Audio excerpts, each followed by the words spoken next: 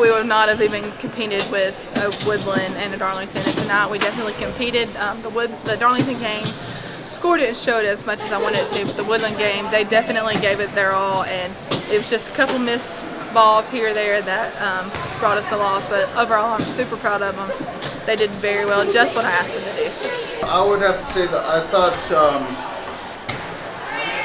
I thought for I thought we, we struggled a little bit with focus um, and uh, being consistent with our level with our focus out there on the floor. Um, but uh, I, I, know that's something that we will continue to get better at. Um, I thought we served pretty well.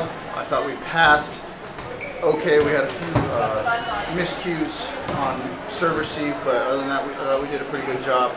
Um, we had some players play in some new positions for us tonight that, um, and I thought they did pretty well. So um, all in all, I thought it was a pretty good performance. Had a rough start. We had some losses to some good teams, and then um, we had our first two region losses last week. And um, we had to kind of take a step back and rearrange our lineup and do some things differently. And ever since then, things have been looking up. So um, I think they're looking forward to Thursday. I'm looking forward to Thursday. Hopefully, bringing home two good region wins. I'm I'm really excited about it. I think that we are we're getting better each and every time out, um, and um, you know we're still fairly young in the season. Um, and I know we have some really big games coming up, and I'm looking forward to those.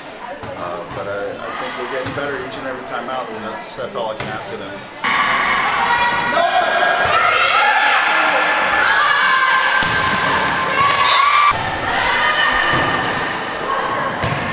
I, you know, I, I think our, our region is, is a very competitive league, and uh, I, that's that's great for us. That's going to help us get better uh, to play against teams that are going to uh, really push us to the limit. So I'm, I'm looking forward to that. I know there's a lot of great teams that we're going to be playing in our in our in our region.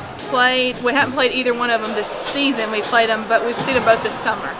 So um, definitely two teams that is going to be a good competition, but um, we've got the ability to win those games.